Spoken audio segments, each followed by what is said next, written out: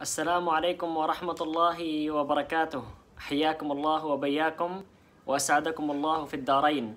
اللهم أرنا الحق حقا وارزقنا اتباعه وأرنا الباطل باطلا وارزقنا اجتنابه. بسم الله والحمد لله والصلاة والسلام على رسول الله وعلى آله وصحبه ومن والاه أما بعد. لا زلنا نتحدث عن الفصل الرابع في مقدمة موسوعة الفرق. وسنقف مع المبحث رقم 12 في هذا الفصل. وهو المبحث الأخير في هذا الفصل ثم ننتقل إلى أسباب التفرق. آه، والمبحث الذي راح نتحدث فيه اليوم هو عن مكائد الشيطان عن مكائد الشيطان. فنحن تحدثنا عن المبحث. في المبحث السابق كيف أن أعداء الأمة واليهود والنصارى والمنافقون يسعون من أجل تفريق هذه الأمة. فكذلك الشيطان له دور كبير جدا فهو رأسهم فهو رأسهم وهو الداعي إلى هذا الأمر.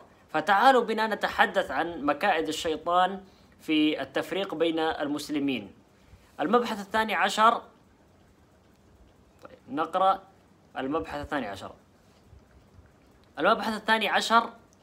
الفر الفرقة من وسائل الشيطان. يعني من وسائل الشيطان التي يستخدمها من أجل إغواء البشر هي الفرقة. ومكائده التي ينصبها للمسلمين. على مستوى الفرد وعلى مستوى الجماعة. فهو يكيد على مستوى الفرد للشخص بنفسه أن يوصله إلى الاختلاف والفرقة وأيضا الجماعة. فهو يسعى لتفريق جمع المسلمين. ما يزال الشيطان يعلن العداوة لبني الإنسان منذ أن لعن منذ اللعن وطرد من رحمة الله سبحانه وتعالى ولقد طلب من الله عز وجل الإنذار وطلب الحياة لكي يضل الناس ويفتنهم عن دينهم. يعني إبليس المطرود من من رحمة الله سبحانه وتعالى الملعون طلب من الله سبحانه وتعالى أن ينذره. قال أنذرني إلى يوم يبعثون. قال إنك من المنظرين. فماذا قال؟ لأغوينهم أجمعين. فهو يريد إغواء البشر يريد أن البشر يقعون في المعاصي والذنوب والكفر والفرقة. ولقد توعد العدو باتخاذ كافة السبل. لذلك قال الله سبحانه وتعالى يعني إبليس يريد أن يتخذ جميع السبل جميع الطرق من أجل إغواء البشر من أجل تفريق البشر من أجل الاختلاف بينهم من أجل أن يوصلهم إلى الشرك إلى البدع إلى اتباع الأهواء. قال الله سبحانه وتعالى قال اهبط منها فما يكون لك أن تتكبر فيها فاخرج إنك من الصاغرين. قال فأنظرني إلى يوم يبعثون قال إنك من المنذرين. قال فبما أغويتني لأقعدن لهم صراطك المستقيم. آه صراطك المستقيم هو إيش؟ كنا نتحدث عن آه الطريق الصحيح والصراط المستقيم وسبيل الله سبحانه وتعالى. هو يريد أن يوقف ويجلس عند هذا الطريق ويجعل الناس يقعون في الغواية ويميلون عن الصواب. لأقعدن لهم صراطك المستقيم ثم لآتينهم من بين أيديهم ومن خلفهم وعن أيمانهم وعن شمائلهم ولا تجد أكثرهم شاكرين. فهو راح يأتينا من جهة اليمين من جهة الشمال من جهة الأمام من جهة الوراء يسعى جاهدا بصوته ورجله وخيله ويسعى بكل طرقه من أجل تفريق المسلمين ومن أجل بث النزاع والخلاف بين المسلمين. توعد عدو الله بأن يصد الناس عن الصراط المستقيم الذي أمرنا الله بسلوكه وحذرنا المولى سبحانه من الحياد عنه واتخاذ السبل والضلالات مكانه. فالله سبحانه وتعالى حذرنا أن نميل عن هذا الطريق المستقيم وأن نتخذ السبل وأن نمشي وراء الاختلافات والتفرق. كما خط النبي صلى الله عليه وسلم وبينا ذلك الأمر خطا في النصف وقال هذا سبيل الله. وعلى يمينه ويساره خطط. وهذه سبل وعلى كل سبيل منها شيطان. والله سبحانه وتعالى يقول وأن هذا صراطي مستقيما فاتبعوه ولا تتبعوا السبل فتفرق بكم عن سبيله. ذلكم وصاكم به لعلكم تتقون. فهذه لابد أن ننتبه لها لابد أن نحذر من مكائد الشيطان. يقول عبد الله بن مسعود رضي الله عنه إن الصراط إن الصراط محتضر أي يأتي إليه الشياطين. تحضره الشياطين. ينادون يا عبد الله هلم هذا الطريق ليصدوا عن سبيل الله فاعتصموا بحبل الله فإن حبل الله هو كتابه. إن فحبل الله هو كتاب الله سبحانه وتعالى. فالشيطان راح يقف أمام هذا الصراط وينادي والشياطين تنادي تعالوا هذا هو الطريق الصحيح. تعالوا هذا هو الطريق الصحيح. تعالوا بنا نحكم العقل. تعالوا بنا ننظر إلى علم الكلام. تعالوا بنا نبتدع في الدين. تعالوا إحنا الذي نفهم الدين. تعالوا بنا نراجع النص. كل هؤلاء دعوات من الشيطان. دعوات حتى ابن قيم راح يذكر أنها دعوات وبيان يسحر العقل. يسحر العقل. نسأل الله أن يثبتنا على الإيمان وعلى القرآن والسنة. يقول ابن عباس ينبغي أن الشخص يتمسك بالحبل المتين وهو كتاب الله سبحانه وتعالى. وما زال الشيطان بآدم عليه السلام حتى أخرجه من الجنة. يعني إبليس ما زال بآدم يغوي يغوي يغوي ويواعده ويقسم له. آه وقاسمهما إني لكم لمن الناصحين. يحلف لهم بالله يحلف لهم بالله. والله راح تبقوا خالدين إذا أكلتم من الشجرة. فيعني آدم عليه السلام ما يتوقع إنه في شخص يعني يحلف بالله كاذبا. فيحاول بجميع الطرق شتى الطرق أن يغوي بني آدم. ويغوي آدم حتى أخرجه من الجنة. فكذلك سيفعل بذريته. وما زال ببني آدم حتى أوقع بينهم الفرقة والعداوة والصد عن الإيمان بالله تعالى وإيقاع الكفر والشرك الذي فرقهم يعني ما زال إبليس ببني آدم وذرية آدم وهو يسعى جهود حتى أنه يسعى قرون ليس قرنا واحدا ما يمل ولا يكل. يعني راح نقرأ أنه من آدم عليه السلام إلى نوح عليه السلام كان الناس على التوحيد. نعم إبليس كان يفعل اشياء من بث القتل كقتل قابيل لأخيه هابيل وغير ذلك لكن أن يقعوا في الشرك. هذا الشيء كان يسعى من أجله عشرة قرون. تخيل عشرة قرون والقرن كان يقصد فيه الألف سنة والقرن يقصد فيه جماعة من الناس. فتخيل عشرة آلاف سنة لا يمل ولا يكل حتى يغوي الإنسان. هذا عدو عدو كبير جدا لابد أننا نحذر منه. الله سبحانه وتعالى يقول وما كان الناس إلا أمة واحدة فاختلفوا ولولا كلمة سبقت من ربك لقضي بينهم فيما هم فيه يختلفون. فيما لقضي بينهم فيما فيه يختلفون. وهذا الشيء بيناه أن الاختلاف لم يكن في أول الأمر والأصل في البشرية أنهم كانوا على التوحيد وتحدثنا مبحث كامل عن هذا الأمر. قال ترجمان القرآن عبد الله ابن عباس رضي الله عنهما كان الناس أمة واحدة أي كانوا على الإسلام كلهم كلهم كانوا على الإسلام والتوحيد وبعد ذلك انتشر الشرك بينهم. ويذكر, ويذكر ويذكر الإمام عبد الرحمن ابن الجوزي. ابن الجوزي اسمه عبد الرحمن حتى نعرف الاسم. رحمه الله كيد الشيطان لآدم عليه السلام ثم كيده لأحد ولديه بقتل أخيه. ثم يذكر يعني هذا الشيء الذي وقع من إبليس أنه أولا أخرج آدم من الجنة وجعله يأكل من الشجرة كان سببا. وثم حرش قابيل على أخيه هابيل. ثم بعد ذلك يقول لك إيش؟ ثم يذكر الأمر جرى بعد ذلك على السداد والاستقامة، يعني بعد ذلك كان الناس على السداد والاستقامة والإسلام وكانت الأمة واحدة والدين واحد والمعبود واحد، يعني كل الأمة مجتمعة على شيء واحد وعلى دين الإسلام وعلى عبادة الله سبحانه وتعالى فلم يكن بينهم لا فرقة ولا اختلاف. كما قال قتادة رحمه الله كان بين آدم ونوح عليهما السلام عشرة قرون كلها على الهدى وعلى شريعة من الحق. ثم اختلفوا فكاد لهم العدو. إبليس والتلاعب بهم حتى انقسموا قسمين كفارا ومؤمنين. فالناس كانوا على التوحيد حتى فرق بينهم إبليس وكاد. المكائد لهم حتى انقسم الناس إلى قسمين مؤمنون وكافرون. مؤمنون بالله سبحانه وتعالى وماشون على الصراط المستقيم وعلى الطريق السداد الذي كان ما يمشي عليه من هو قبلهم الأمة التي كانت مجتمعة قبل أن تختلف. لكن جعل منهم صنفا يكفرون بالله سبحانه وتعالى وزين لهم عبادة غير الله سبحانه وتعالى. فكاد لهم فكادهم بعبادة الأصنام وإنكار البعث. يعني هذا أول شيء سعى من أجله أنه يجعلهم يعبدون الأصنام. وهذا شيء وقع في زمن نوح عليه السلام. ولا تذرن آلهتكم ولا تذرن ودا ولا سواعا ويغوث ويعوق ونصرا.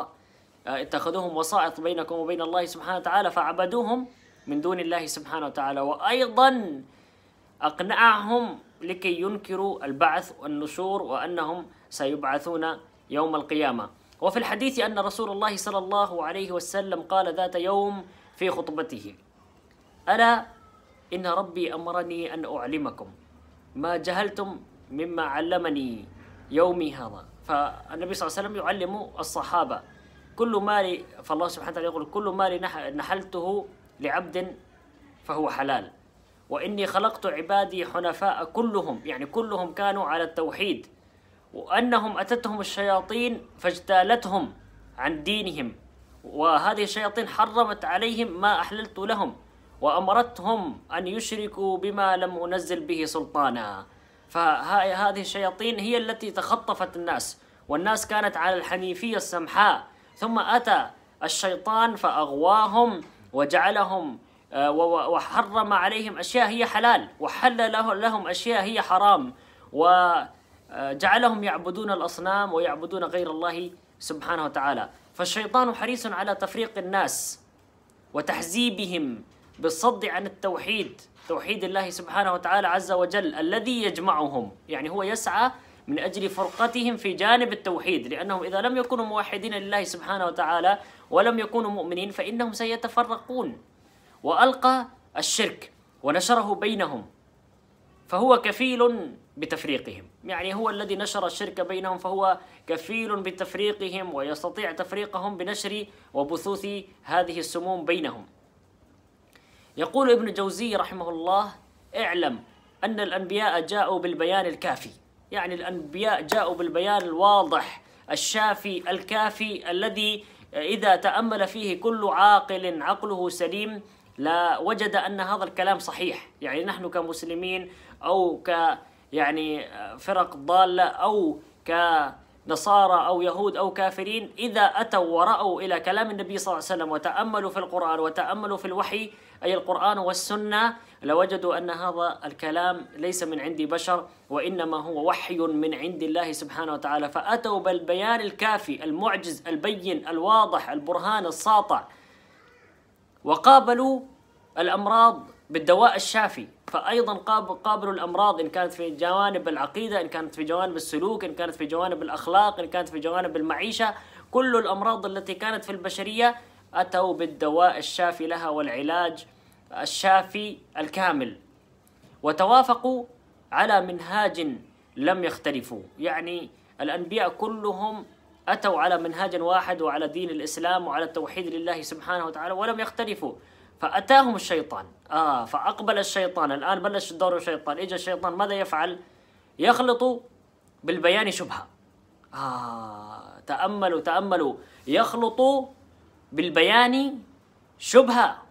يعني الشبه كم من أناس يفعلون نفس هذه الأشياء؟ هذه من وحي الشيطان لهم من زخرفة الشيطان لهم من خطوات الشيطان لهم.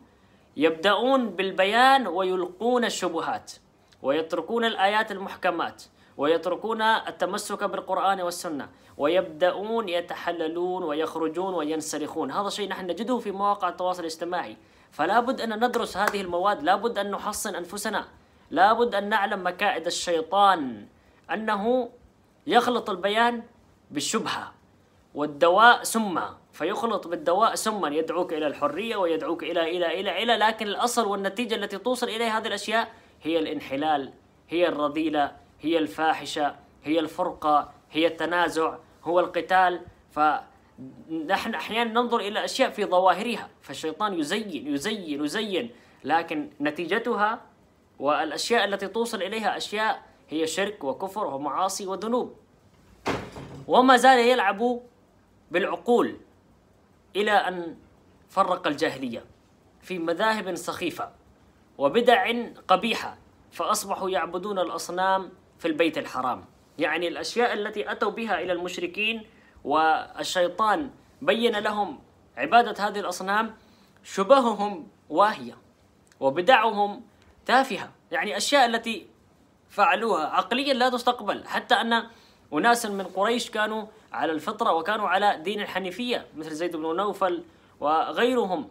وغيره. كانوا اثنان أو ثلاثة الذين لم يقبلوا هذا الشيء لم يقبلوا عقولهم لم تقبل هذا الشيء. وهناك أيضا في زمنهم من لم يسجد لصنم ولم يشرب خمرا كالنبي صلى الله عليه وسلم وأبو بكر الصديق رضي الله عنه. فليس كل الناس قبلوا ما ذكره الشيطان وما بينه الشيطان. فالشيطان ألقى أشياء لهم هي أشياء واهية. فابتعث الله سبحانه وتعالى محمد صلى الله عليه وسلم. فرفع القابح. يعني أرسل النبي صلى الله عليه وسلم إلى قريش وإلى الناس ولجميع الناس. فرفع القابح أي شيء قبيح بين أنه لا يجوز ورفعه وشرع المصالح. يعني شرع جميع المصالح وبين ما هي المصالح للناس بالنسبة للعبودية بالنسبة للأخلاق بالنسبة للسلوك بالنسبة للمعاملات. فصار أصحابه معه وبعده في ضوء سالمين. في ضوء نوره سالمين. يعني القرون الخيرة القرون الخيرة النبي صلى الله عليه وسلم وأصحابه والتابعين كانوا متمسكين بهذا الشيء وكانوا يمشون على النور والإضاءة السالمة التي بينها له النبي بينها لهم النبي صلى الله عليه وسلم. وكانوا حذرين من العدو وغروره فلما انسلخ نهار وجودهم.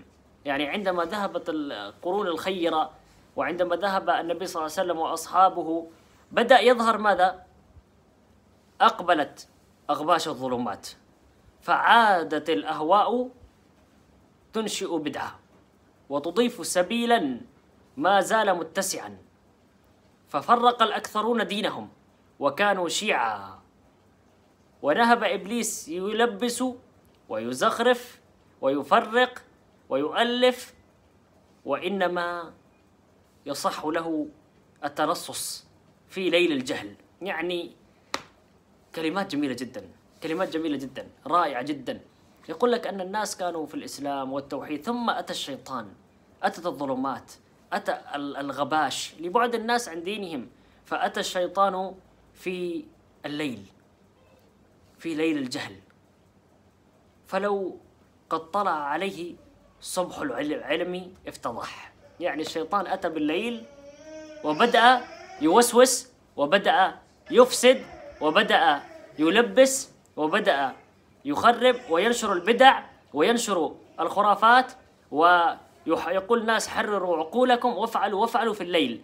لكن عندما يضيء الصبح ينفضح أعماله كلها. وهنا إشارة إلى ماذا؟ إشارة إلى العلم وإشارة إلى التمسك بالقرآن والسنة. فكم من عالم فند أقوال البدعة أقوال المبتدعين. ورد عليهم من زمان ما ظهرت البدع إلى زماننا هذا. من القرآن والسنة الرد عليهم دائما.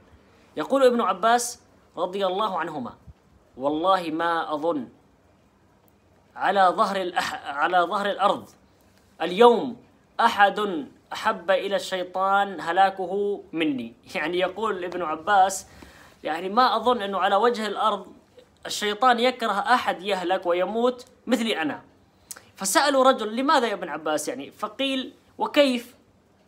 قال والله إنه لا يحدث البدعة في مشرق أو مغرب فيحملها الرجل إلي فإذا انتهت إلي قمعتها بالسنة فترد عليه كما أخرجها فترد عليه كما أخرجها. يعني يقول لك الشيطان يفكر ويشتغل وحالته حالة ويكيد ويقول بدعة ويأتي رجل من مشرق الأرض أو من مغرب الأرض إلى ابن عباس.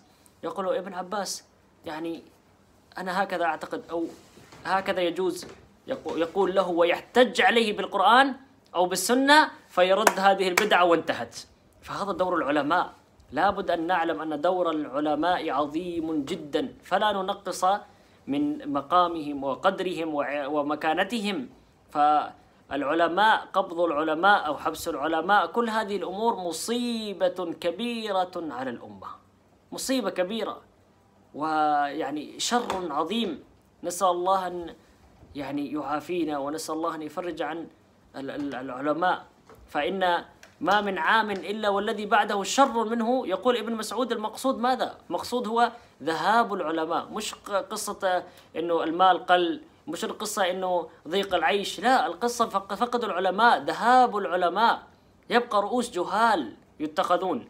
ويقول المولى سبحانه محذرا المؤمنين من أن تنطلي عليهم حيل الشيطان ومكائدهم.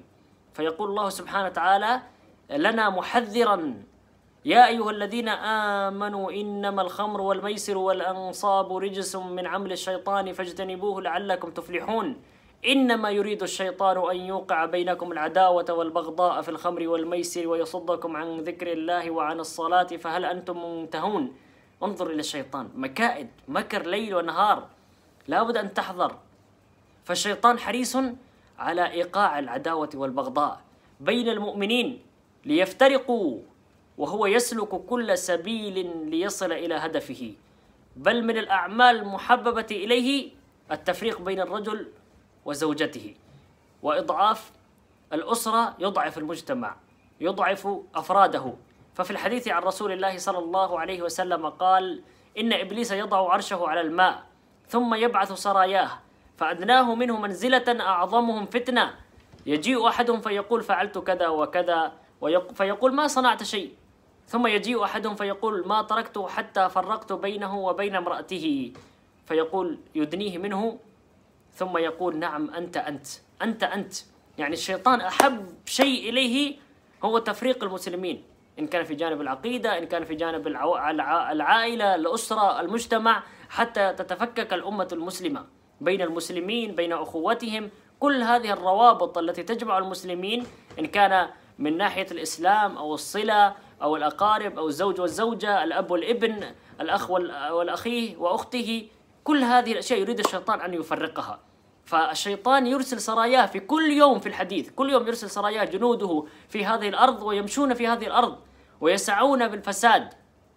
فأدناه منه منزلة أعظمه فتنة يعني أقل واحد فيهم اللي عند إبليس فتنته عظيمة جدا جدا. فيعودون إليه في المساء. فيسأله ماذا فعلتم؟ يقول واحد فعلت كذا وكذا والثاني يقول فعلت كذا وكذا. يعني يقول شخص ما تركته حتى زنى يقول أنت ما فعلت شيء. ثم يقول شخص ما تركته حتى سرق يقول أنت ما فعلت شيء. يقول واحد ما تركته حتى فرقت بينه وبين زوجته يعني خليته يطلق زوجته. يقول أنت أنت. مع أن الطلاق جائز لكن انظر انظر إلى الفساد انظر إلى الشيء الذي وقع انظر إلى تفريق المسلمين انظر إلى الشيء الذي وقع بين المسلمين عندما حصلت الفرقة عندما حصلت الفرقة. معصية قد يتوب منها. نعم هي شيء عظيم مش أمر هين. لكن تفريق المسلمين فيه مصالح كبيرة لإبليس من آه، تفكك المسلمين. بل إن التفريق بين الناس جماعات وأفرادا هي من مكائده وحبائله من قديم الزمان.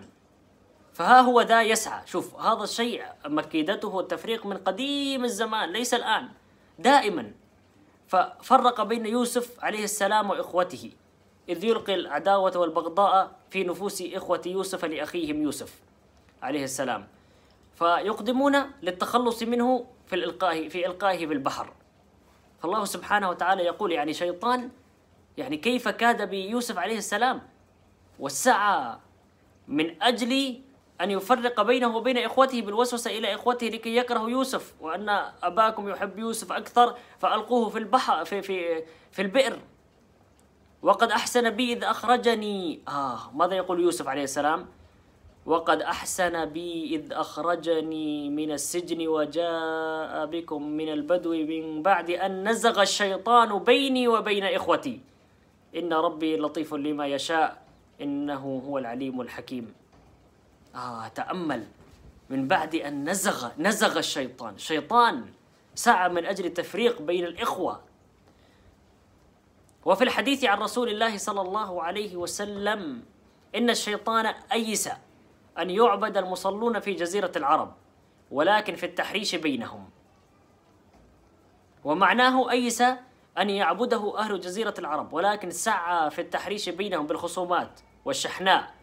والحروب والفتن ونحوها. يعني أهل جزيرة العرب وجزيرة العرب والمسلمون آه، هؤلاء الذين في جزيرة العرب أيس أيس. ما يقدر أن يخرجهم من الإسلام ويجعلهم يعبدون غير الله سبحانه وتعالى لكن حرش بينهم أثار الفتن بينهم أثار القلاقل بينهم. يقتل بعضهم بعضا يحسد بعضهم بعضا يبغض بعضهم بعضا. هذه الأشياء التي يوقعها الشيطان إذا لم يستطع أن يجعلهم يكفرون ويعبدون غير الله سبحانه وتعالى.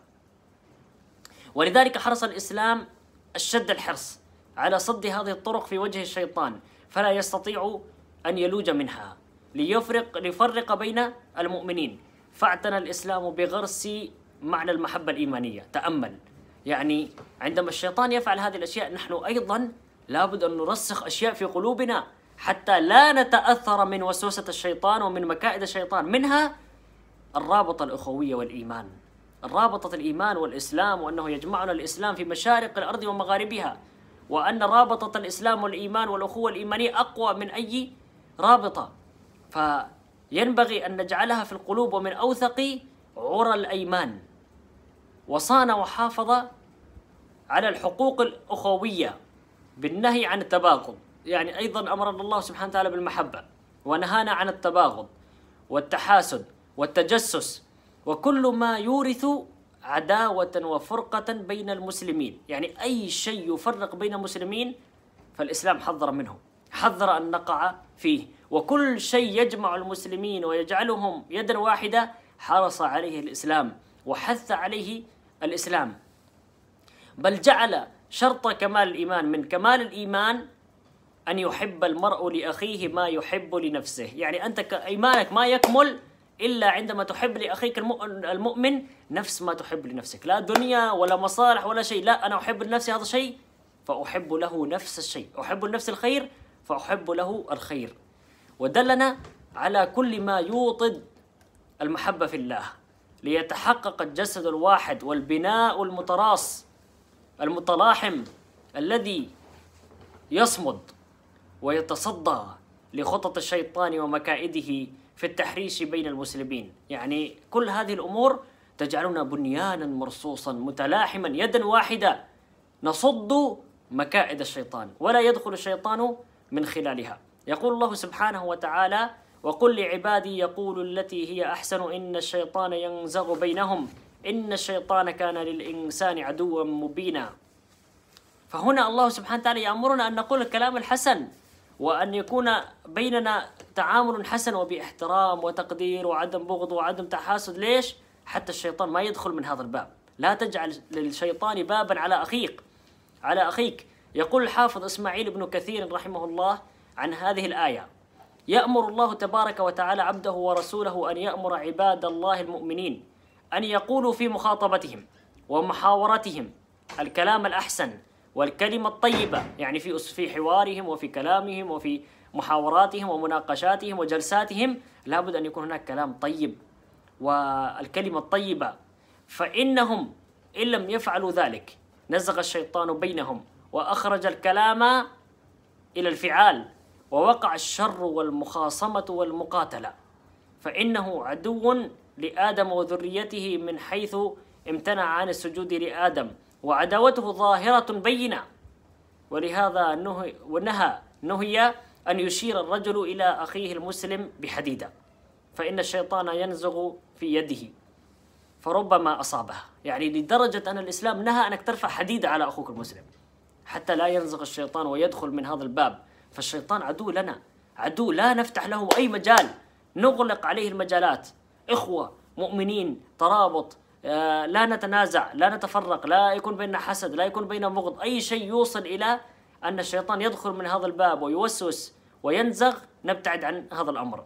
ولقد دعا الله سبحانه وتعالى المؤمنين كافة بالدخول في الإسلام وطاعة الله عز وجل والتمسك بها والأمر بلزومها والحذر من خطوات الشيطان وخطراته التي يوسوس بها ليصدهم عن دين الله ويفرقهم عن صراطه المستقيم. فالشيطان يحرص خطوات خطوات خطوات يمشي خطوة خطوة خطوة خطوة.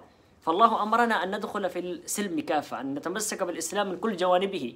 قال الله سبحانه وتعالى يا أيها الذين آمنوا ادخلوا في السلم كافة ولا تتبعوا خطوات الشيطان إنه لكم عدو مبين. يا أيها الذين آمنوا بالله ورسوله واتبعوا شرعه أسلموا لله سبحانه وتعالى. وتمسكوا بالإسلام كافة كامل الإسلام لا تأخذوا شيء وتتركوا شيء. وأحذروا من الشيطان وخطوات الشيطان فإنه يمشي معكم خطوة خطوة خطوة خطوة. ولقد تفطن علي بن أبي طالب رضي الله عنه إلى مكائد الشيطان وحيله ونبه عليها. فقال حينما قتل قتل الخوارج في نهروان بئس لكم لقد ضركم الغرور. يعني قال للخوارج بعد أن وقع فيهم وقع بمعركتهم وقتلهم قال بئس ما ضركم به الغرور. الغرور. من غركم الذي غركم ضر من غركم.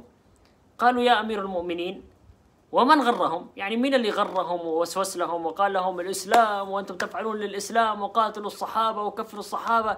مين اللي غرهم؟ مين اللي فعل هذا الشيء؟ قال الشيطان والنفس.